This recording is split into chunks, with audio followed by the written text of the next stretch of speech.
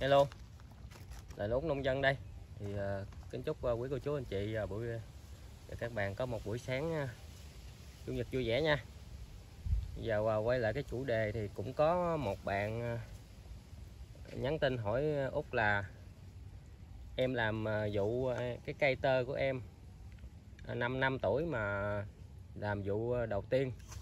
Thì uh, có nên làm mùa nghịch hay uh, để một thận thì uh, cái ừ, cái phần mục thứ hai nữa là bạn hỏi là chi phí.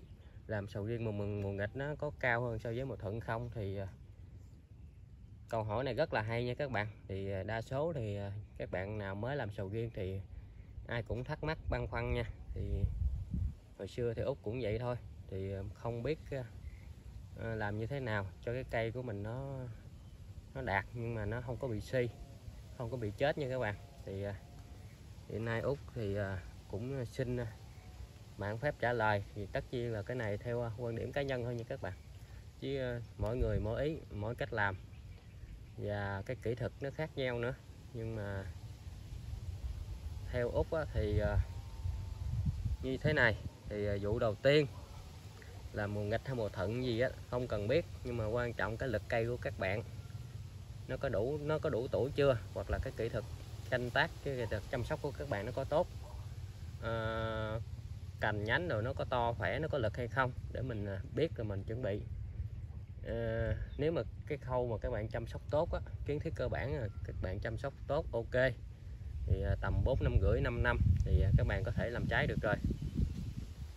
Thì cái đó thì út nghĩ là nó cũng không có sẽ nó không có sẽ sẽ không có si cây của mình nhiều nha. Tại vì cái tầm đó thì nó vừa rồi thì à, còn cái chuyện mà làm mùa nghịch hay mùa thuận thì à, làm thuận các bạn để thuận thì cũng được nhưng mà theo út thì à, mùa đầu tiên thì các bạn nên đậy nghịch. Cho nó nó nó nó nó, nó quen nha nó quen thuốc nha. Còn cái chuyện mà 5 năm rồi thì nó cũng không có suy đâu các bạn sợ thì cứ đậy nghịch. Thì các bạn siết nó cho cái dàn trái nó, nó nó ổn định sau này đi rồi ờ, nếu mà làm hai ba vụ liên tiếp, thì nếu mà nó cây mình, cái cây các bạn si, thì các bạn có thể thả mùa thuận nha, chứ không nhất thiết là vụ đầu tiên là phải để mùa thuận. Thì cái đó là theo quan điểm của nông dân nha. Thì ờ, cứ để, cứ cứ để mùa nghịch, nói tóm lại là cây cho bói ờ, năm đầu tiên thì cứ để mùa nghịch bình thường. Quan trọng là các bạn, cái khâu của các bạn là sử dụng thuốc nè lên lân tạo mầm nè hoặc là lên phát lo hoặc là sử dụng phân bón trong cái thời gian mà mình nuôi bông nuôi trái thì nó hợp lý thì cái cây của mình nó vẫn khỏe bình thường nó không suy nha nó không xuống cây nha. Rồi sau đó là cái quá trình các bạn mà nuôi trái các bạn giữ trái thì cũng vậy thì các bạn à, cây tơ thì thường thì các bạn để cái, cái lượng trái nó cũng vừa phải thôi chứ không không không được để nhiều nha. Thì à, nhiều anh em nói đó cây tơ 4 5 năm thì anh em nói nhiều ốc cũng tham khảo coi qua xin lướt qua nhiều kênh nhiều anh em nói là để cây 5 năm để hai ba chục trái nhưng mà riêng cái ờ, vườn ốc thì không nha. Cứ nhìn cái, cái lực cây mà mình để chứ không phải là cây nào mình cũng quy định là bao nhiêu đó là bao nhiêu đó. Thì ờ, thường là mấy cây đẹp cái dạng lá nó tốt thì để bốn năm chục trái là bình thường nha các bạn. Nếu mà các bạn đi phân đúng cách hoặc là các bạn ờ, xịt thuốc đúng cách thì nó vẫn đeo được bốn năm chục trái là bình thường nha các bạn.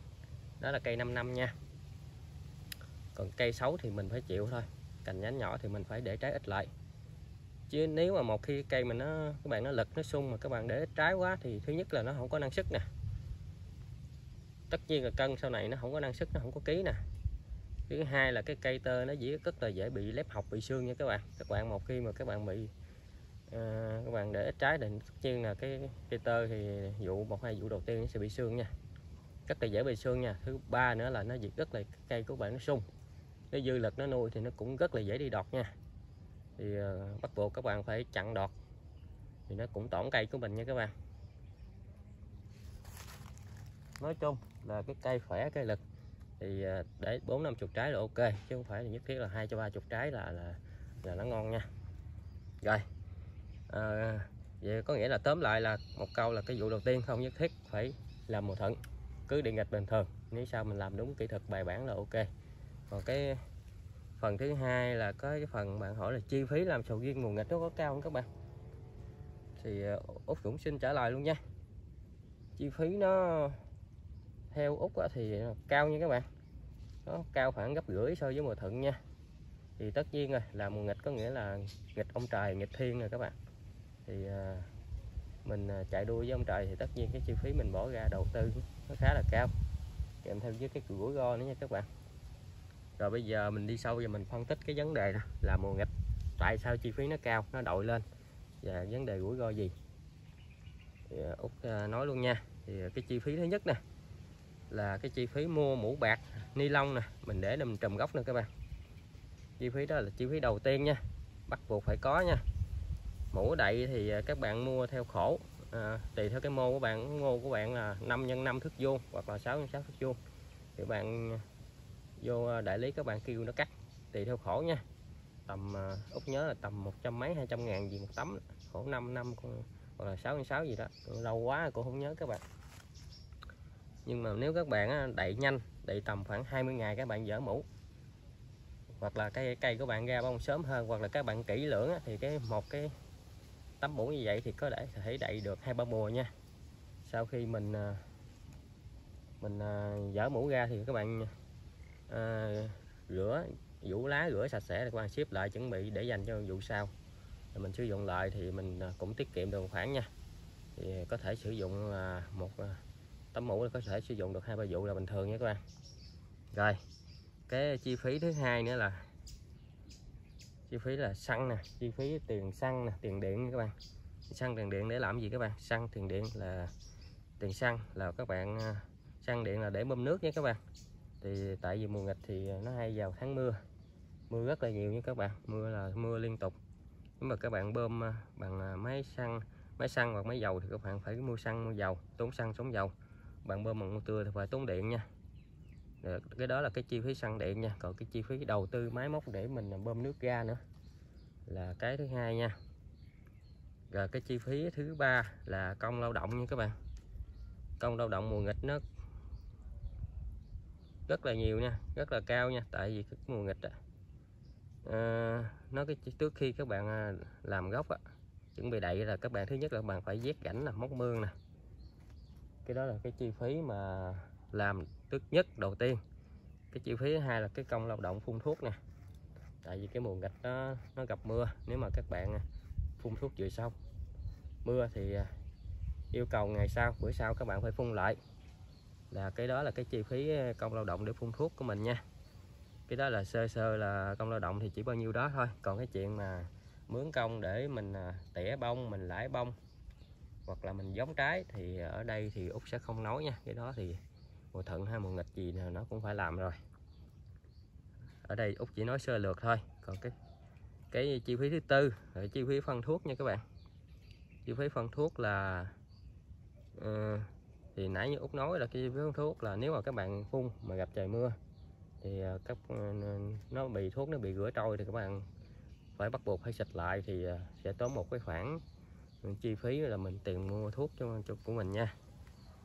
À, cái ý thứ hai nữa là cái bón phân mà bạn bón phân vào mùa nuôi bông, nuôi trái vào mùa nghịch, mà nó bị gặp mưa mưa nó rửa trôi. Cái nếu mà các bạn mô sầu riêng các bạn nào cao, nó dốc á, mô hình à, nón lá, mô gùi vậy đó các bạn, thì nó rất là dễ rửa trôi nha. Nếu mà các bạn là mùa nghịch thì các bạn lưu ý thì nó cũng tốn thêm một cái khoản là chi phí nào để mình giải phân thêm nữa nha. Nếu mà các bạn à, mưa nó rửa trôi hết thì nó không có đạt nha các bạn cái khả năng nuôi bông nuôi trái nó không có nha. Rồi cái chi phí thứ năm nữa là cái chi phí thuốc chặn đọt. Hoặc là thuốc trừ bệnh trên lá thì nó cũng sẽ nhiều. Cái tần suất xịt chặn đọt nhiều hơn, hoặc là cái tần tần suất xịt bệnh nó cũng rất là cao nha. Tại mùa mưa thì các bạn biết rồi đó. Thì trời mưa thì ờ, nó mát mát thì đương nhiên là cái thuận lợi cho cái cái đọt mình nó đi. Thì các bạn phải tốn cái chi phí chặn đọt mà vừa tốn tiền mà vừa nó tổn cây của mình nữa nha. Đó là cái ý thứ nhất. Ý thứ hai là thuốc bệnh. Mùa mưa thì các bạn biết đó nấm bệnh nó xâm nhập rất là nhiều nha nhất là tháng thư nè. À, này kia tháng thư này kia rồi xì mũ này kia thì bắt buộc các bạn phải xịt thuốc chặn ngừa chừng chừng chứ mình không có chuyện mình mình bỏ luôn nha.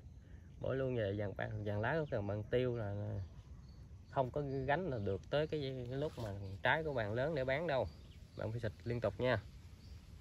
Rồi nói tóm lại là cái chi phí à, trên lệch giữa mùa thuận và mùa nghịch thì à, nếu mà ấp à, tính thực tế theo cái tổng quan của của số lượng cây sầu riêng trong vườn á, thì với cái số với cái tổng tiền à, đầu tư phân thuốc á, thì mình chia ra. Thì út thấy là nó chi phí nó cũng không cao đúng không ạ? Cũng uh, chấp nhận được thì nếu mà là mùa nghịch thì ờ, một chị chi là một cây sầu riêng này nó tốn khoảng một triệu đồng. Tiền phân thuốc tất cả các bạn. Phân thuốc thôi nha. Còn cái tiền công cán là riêng đấy nha các bạn. Công cán này kia riêng chỉ là tiền phân thuốc thôi. Là một ờ, một cây sầu riêng nó sẽ mất khoảng một triệu. Còn nếu mà làm mùa thuận á, thì ờ, nó sẽ ít hơn. Mùa thuận thì một tính là khoảng khoảng độ sáu bảy trăm ngàn như một cây đó các bạn. Thì mùa thuận thì sáu bảy trăm ngàn một cây còn mùa nghịch thì một triệu một cây. Thì nó cũng trên lệch thì nó cũng không nhiều nhưng mà nó được cái là cái giá cả nó nghịch nó cao hơn nó ổn định hơn nó hút hàng hơn nó tất nhiên là nó sẽ dễ bán và bán nhanh hơn các bạn. À, thương lái nó tới mua thì nó sẽ dễ dàng hơn các bạn để mùa thuận các bạn mùa thuận là nó nó, nó vô vụ mà nó gọn một cái là nó nó dội nha các bạn. Chứ mình đừng có ham làm mùa thuận nha bởi ở đây vườn út hoặc là khu vực của út đây toàn là ai cũng đại nghịch cho nha. Chứ ờ, không, ít có chỉ có một hai người là người ta để thuận thôi. Ừ, người ta phái thì người ta để thuận thôi chứ khu vực út là hết 90 phần trăm hơn 90 phần trăm là đại nghịch hết tất cả. Tại vào những tháng ờ, 4 tháng 5 tháng 6 rồi đó các bạn là khu vực này đại rất là nhiều nha. Những tháng cao điểm thôi còn những tháng trở lên thì ít có ai đậy đó bởi vì gáo riết để mình làm cái cơi đọt cho nó đạt, nó thường thực cho nó đủ lá để chuẩn bị mình đậy sớm. Để mình đón giá nha các bạn. Rồi, thì à, video clip của Úc thì chia sẻ à, cái mục đích vậy thôi. Thì các bạn à, thấy, nếu thấy video hữu ích thì cho Úc xin một lượt like nha. Một lượt đăng ký kênh cho các bạn. Cảm ơn rất là nhiều. Xin chào các bạn.